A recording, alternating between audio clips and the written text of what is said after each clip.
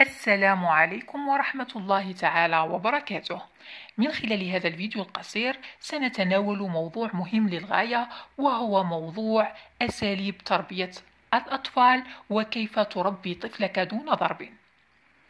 أولا على الأولياء أن ينتبهوا لنقطة مهمة جدا وهي نقطة التربية بالملاحظة حيث تعتبر تربية الطفل بالملاحظة من الطرق المهمة وملاحظة الوالدين للطفل ومتابعة حالتهم النفسية والاجتماعية والدراسية لكن دون التضييق عليهم لأن هذا الضيق سيعود بالسلب على الأم والأب أن يجعلا الطفل محطة ثقة وأن يشعروه بأنه مسؤول على كل تصرفاته منذ الصغر فهذا الأسلوب من التربية يزيد من ثقة الطفل بنفسه وفي الآخرين.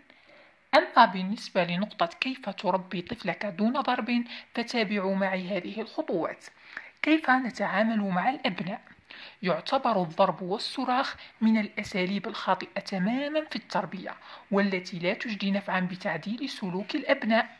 على العكس تماما يعتبر الحزم في التعامل مع الأبناء من أهم الأمور التي تنعكس على تصرفات الأولاد نحو الأفضل. وسنعرض سأعرض عليكم خلال هذا الفيديو مجموعة من الطرق والنصائح التي يمكن استخدامها في تربية الأطفال وتوجيه عقوبات تخلصك من السلوكات السيئة لدى طفلك. وأهم هذه النصائح هي الابتعاد عن الضرب وعن الصراخ تماما. أول طريقة هي الوقت المستقطع وهو وقت يجبر فيه الوالد الطفل على الجلوس في مكان لوحده بعيدا عن المكان الذي تجلس فيه الأسرة وذلك إذا تصرف بشكل غير لائق أو بشكل مزعج أو سبب الأذى لشخص ما. في البداية سيرفض الطفل ذلك لكن مع إلحاك مع إلحاحك سيرخض لرغبتك وينفذ العقوبة ويتم إقصاء الطفل لمدة دقيقة واحدة في كل سنة من عمره. يعني هذا اسمه الوقت المستقطع. بدل أن تعاقبه اعزله فقط. الطريقة الثانية وهي صندوق المواسم. إذا أظهر الطفل الجلبة والإزعاج أثناء اللعب أو قام بكسر حاجاته وتخريبها على الأم أن تتخذ إجراء سريع ولا تهمل الأمر وذلك بتخصيص صندوق تطلق عليه اسم معين ويمكن أن نسميه صندوق المواسم مثلا حيث يتم وضع اللعبة فيه ولا تخرج إلا في وقت محدد من الأسبوع وذلك حتى يصبح قادرا على العناية بأغراضه.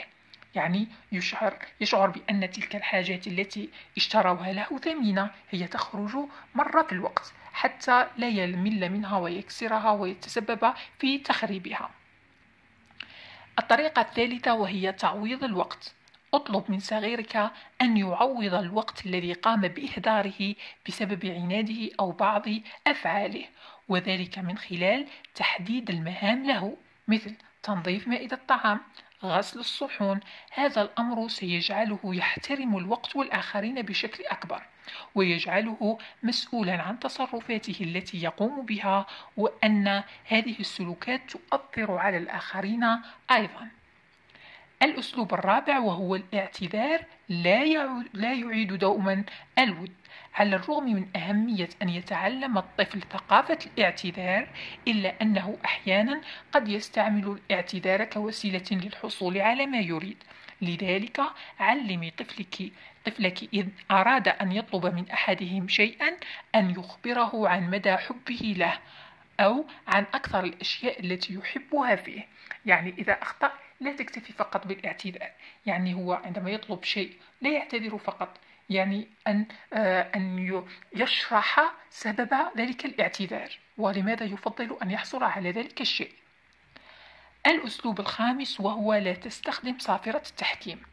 إن حصل أي بين أبنائك مشكل ما لا تتقمص دور الحكم ولا تصدر الأحكام ولا تطلب من الصغير أن يتنازل من أجل أخاه الكبير ولا تستسلم لعناد الأخ الكبير أبدا.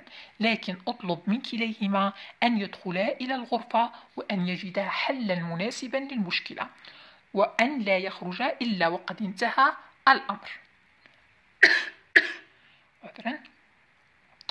الأسلوب السادس وهو التجاهل. تجاهل الطفل تماما عندما يبدأ بالصراخ أو البكاء ولا تلتفت إليه إلا عندما يتوقف تماما عن تلك عن تلك التصرفات. عندها يمكنك أن تتبادل معه الحوار الهادئ فإما أن يقنعك برأيه أو تقنعه بسبب رفضك. يعني لا تناقش أبدا طفل عندما آه، يصرخ ويبكي ويردد الأوامر. يعني هذا سيجعل منه طفلا مدللا.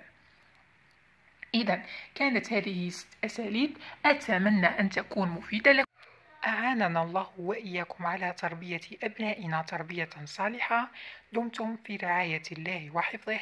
تابعوني لأن هناك دوما الجديد المفيد بإذن الله.